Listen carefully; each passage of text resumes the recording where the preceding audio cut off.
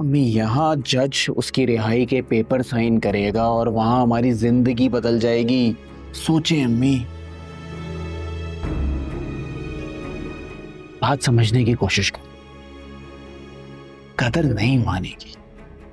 कदर अभी बहुत गहरे सदमे में है। वो कैसे मान सकती है?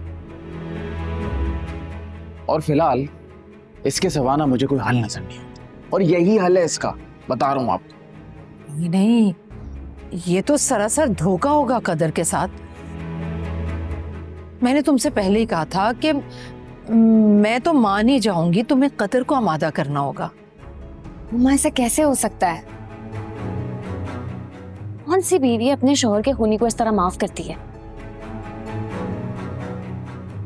उसे यह एहसास नहीं होगा। लेकिन कल को आपके फैसले से उसकी ज़िंदगी बदल जाएगी।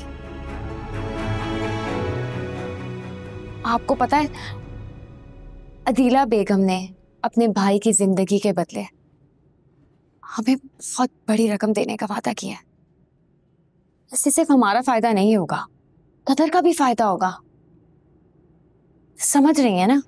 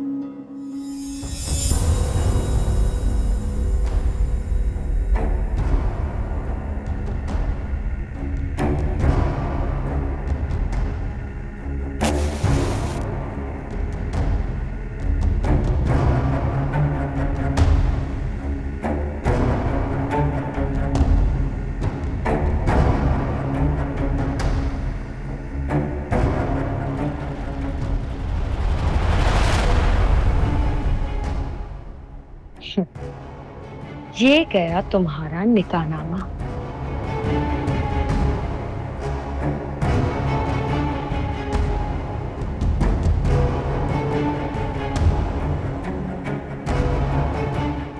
शौहर की ढाल पे बेगुनाहों का खून बेचने की कोशिश ना कीजिएगा भाभी। क्योंकि हम में से कोई आपका साथ नहीं देगा। कानून में भी माँ और बीवी के बाद ही भाई का हक होता है।